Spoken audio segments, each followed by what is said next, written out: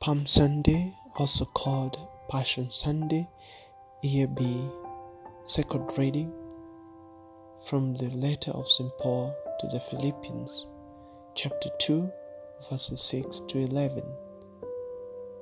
Jesus Christ, although he shared God's nature, he did not try to seize equality with God for himself, but emptied himself, took on the form of a slave and became like a man, not in appearance only, for he humbled himself by accepting death, even death on a cross. For this for this God has raised him high and given him the name that is above every name, so that at the name of Jesus every knee will bend in heaven, on earth, and under the earth, and every tongue will proclaim Jesus Christ is Lord to the glory of God the Father. The word of the Lord. Thanks be to God. If there are indeed in Christ Jesus, they should share his spirit of humility. And humility means denying self for the sake of serving others. If Christian indeed are in Christ, they should serve others. They should share in the humility of Christ. Christ did not selfishly grasp, grasp for the supreme glory of heaven, even though it was his by right, for he was God.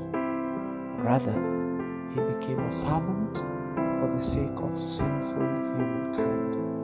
He became a man and accepted the restrictions and hardship that human nature placed upon him. But unlike all other members of the human race, he did not sin.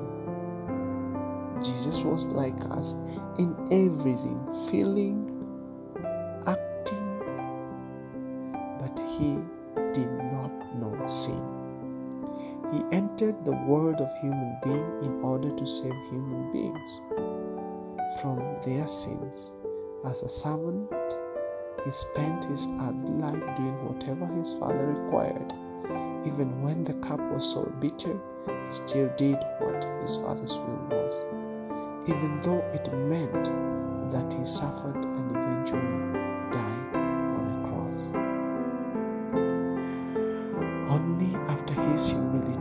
Suffering, and death was Christ raised to the place of supreme glory. The honor that he refused to seek by selfish ambition was given to him in even greater measure because of his humility and obedience. One day, all people, angels, and demons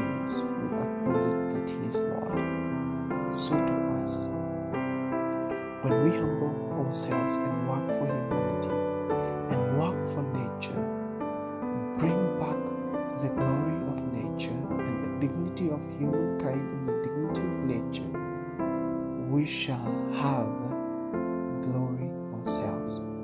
More than anybody would believe, even not ourselves, because God will put that glory in us, and His glory is the supreme glory. God is good all the time, and all the time, God is good.